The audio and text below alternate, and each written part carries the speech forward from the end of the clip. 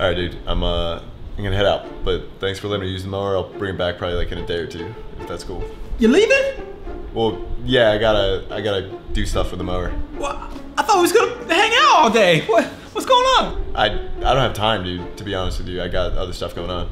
But I had a whole day planned out. Like we was gonna go to the zoo. We was gonna get ice cream. We was gonna look at the stars. We was gonna drive around. Like what? I, dude, it sounds. Trust me, I want to do that, but I told Grayson like weeks ago I'd help him out. So. Call him. Call that dude on the phone right now.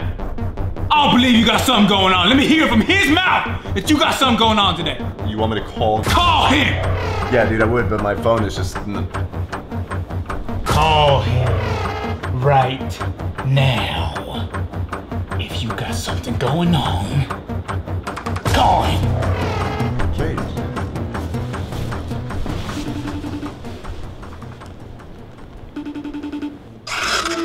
Hey, G.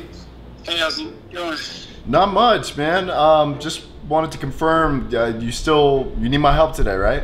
For the, uh, yeah, no, it's just, um, I just need some help, like, laying some bricks, but it's really not a big deal. And you you said it was gonna take pretty much all day, right?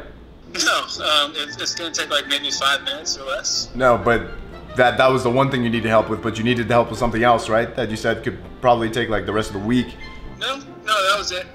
I mean, honestly, I was just gonna, like, see maybe the neighbors. No, no, no. I remember I, I told you because I owed you. Remember I owed you from that last time that you helped me, right? No, I don't, I don't think so, because the last time, I think we got that all squared away, so. Okay, with that one, but there's gonna be something in the future that I'm gonna do to you, and you, I, I, I'm gonna owe you. So I can. You want me to come over now? You want me to? You want me to come over now?